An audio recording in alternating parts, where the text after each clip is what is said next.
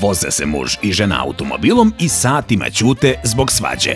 I tako, u vožnji, prolazeći kroz neko selo u dvorištu jedne kuće, ugledaše dve svinje kako se valjaju u blato. Maco, je li ovo neka tvoja rodbina? Jeste, svekar i svekrva.